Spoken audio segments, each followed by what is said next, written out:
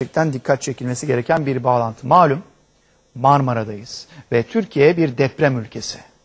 Peki şöyle bir şey düşünün. Allah korusun siz veya bir yakınınız hastanede ameliyat oluyor ve o anda da deprem meydana geliyor ameliyat esnasında. Neler olabileceğini en azından düşünebiliyorsunuz. Aklınıza o kötü şeyler geldi değil mi?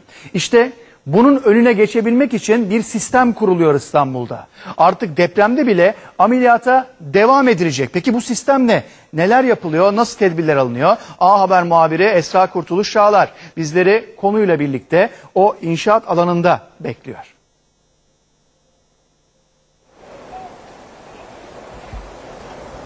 Olga Yorçun Korkut İstanbul'un en önemli, en büyük hastanelerinden biri. Ok Meydanı Eğitim ve Araştırma Hastanesi geçen yıl burada yenileme çalışmaları başlamıştı ve bugün itibariyle senin de az önce belirttiğin gibi deprem anında olası bir felaket senaryosunda e, meydana gelebilecek kötü senaryoların önüne geçebilmek için sismik izolatörler yerleştiriyor. Kameraman arkadaşım Sevcan Yılmaz şimdi size gösteriyor. Kolonların üzerinde bu mavi çemberle gördükleriniz sismik izo, izolatör.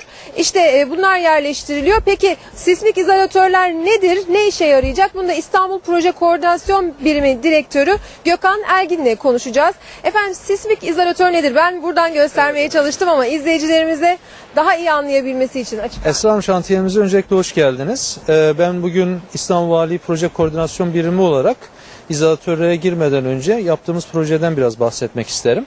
Biz İstanbul'un depreme hazırlık projesi olan İstanbul Sismik Riskin Azaltılması ve Acil Durum Hazırlık Projesi'ni 2006 yılından beri yürütmekteyiz. Ana hedefimiz de okullar ve hastaneler başta olmak üzere yurtlar, sosyal hizmet binaları, idari binalar gibi kamu binalarını güçlendirmek veya yeniden yapmak. Bugüne kadar 800 okul, 18 hastane, 60 poliklinik, toplamda 1175 tane kamu binası güçlendirildi ve yeniden yapıldı. Bugün Ok Meydanı Eğitim Araştırma Hastanesi şantiyesindeyiz. Ee, ve bu hastane 1099 yataklı olarak planlandı, projelendirildi ve çok önemli ilkleri barındırıyor e, bu şantiyemiz. Şimdi sismik izolatörden başlarsak e, nedir ve e, ne fayda sağlayacak? Sismik izolatör deprem anında deprem yükünü, orada çıkan enerjiyi absorbe edecek, alacak e, ekipmanlar olarak tarifliyoruz biz. Ve e, bunlar e, bizim burada kullandığımız 3 yüzeyli sürtünmeli sarkaç tipi izolatörler. Bu tasarım aşamasında bunlar seçildi. Çok detaylı bir e, tasarım aşamasından sonra ve test süreçlerinden geç, geçti. Gerek malzeme ve üretim testi. Bu testlerden geçen izolatörler de şantiyemize gelerek montajına başlandı. Kaç tane Ok yerleştirilecek? Meydanı Eğitim Araştırma Hastanesi'nde 503 tane izolatörümüz var. Ee, biz burayı planlarken tabii 1,5 milyon e, ayakta tedavi gören hastamız, 50 binde yataklı hastamız var yıl içerisinde. O yüzden biz bu hastaneyi yık- yıkarak yapamadık. Boş araziden başladık. İki etaplı olarak planladık. Şu an gördüğünüz birinci etap inşaatımız devam ediyor.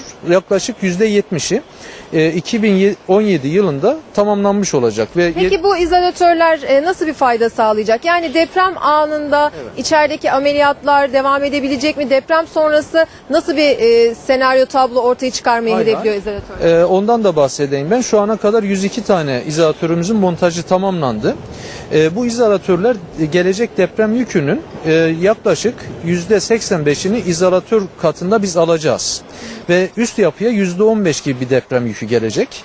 Ee, ve bu deprem yükü e, çok azaltıldığı için diğer normal binalara göre onda bir oranında daha az deplasman yapacak. Bu da bize neyi getirecek? Gerek yapısal gerek de yapısal olmayan elemanlarda daha az e, deplasman olacağı için herhangi bir zarar gelmeyecek ve deprem anında ve deprem sonrası da operasyonda kalacak çok önemli hastaneler olacak. Biz proje kapsamında Ok Meydanı, Göztepe ve Kartal Eğitim Araştırma Hastanelerini böyle planladık ve böyle tasarımla, e, tasarımı yapıldı.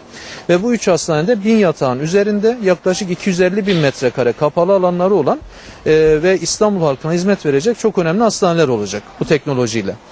Peki e, burası Ok Meydanı Eğitim ve Araştırma Hastanesi başka pek çok yeniliklere de ev sahipliği yapacak. Evet. Kısaca onlardan da bahsedelim. Ondan da bahsetmek isterim. Bu hastane yine e, Türkiye'nin ilk LEED Gold sertifikasını alacak çevreci yeşil e, bina konseptinde tasarlanmış hastanesi olacak. Şöyle ki biz mesela burada 1465 tane kapalı ve açık otopark planladık. Bunların e, binde dördünü biz akülü araçlara ayıracağız. Yani sizler gördüğünüz engelli araçlara nasıl park yeri ayrılıyorsa akülü araçlara da e, aküsünü şarj edebileceği ekipmanların olacağı park yerleri olacak. Ayrıca tri jenerasyon sistemiyle doğalgazdan kendi enerjisini üretecek, soğutmasını, ısıtmasını ve elektrik üretimini yapabilecek.